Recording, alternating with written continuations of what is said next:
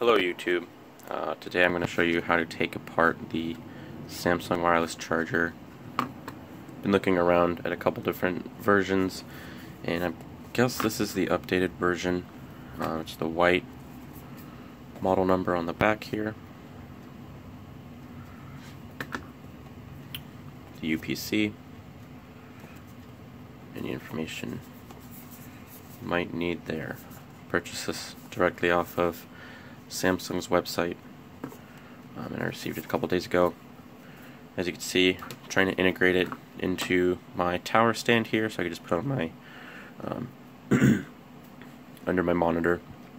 However, the videos that I've seen says that you remove the plastic ring up here um, from the front and then there's four screws however that is not the case with this version with this one you do not need to do this um, don't take that off, just leave that there if you want it. Take it off if you want, your choice.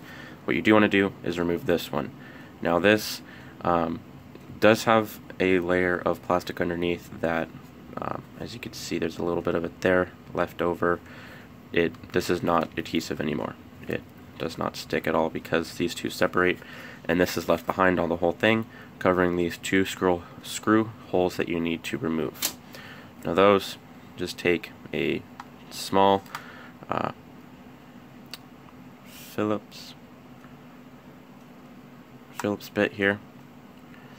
And just unscrew them they come off.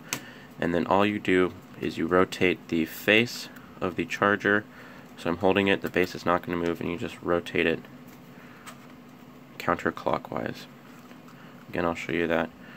This pace is staying still and counterclockwise and then it just comes right off. And as you can see there's little patterns right here for the holes in there to fit into when you're putting it on. And then that's everything. There's just a couple tabs if you want to take it apart even more here. And that's it. And then the rest of this plastic housing just comes off. And that's how to disassemble it and that's it. So you don't need to remove that white piece there.